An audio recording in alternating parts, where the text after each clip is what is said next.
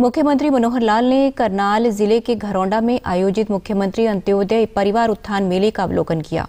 मुख्यमंत्री ने विभिन्न स्टॉल्स पर जाकर लाभार्थियों से बातचीत की। मेले में सरकारी विभागों ने स्टॉल लगाए हैं, जिनके माध्यम से सरकारी योजनाओं के बारे में जानकारी दी जा रही है। मुख्यमंत्री ने कहा कि पिछड़े और गरीब वर्ग के कल्याण के बिना सुखी समाज की कल्पना नहीं की जा सकती। हमने सरकार बनने के पहले दिन से ही अंत्योदय के लिए योजनाएँ बनाई और उन्हें लागू किया।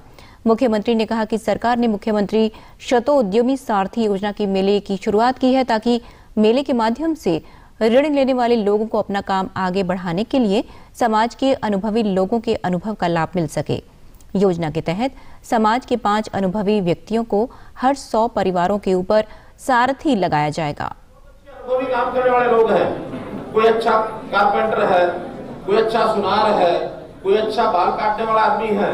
हम उनको कहेंगे कि आप भी पाँच बच्चों को अपने से बढ़िया बना के दिखाओ या अपने जैसा बना के दिखाओ, हमारी यूनिवर्सिटी जो है उसको सर्टिफिकेट देगी।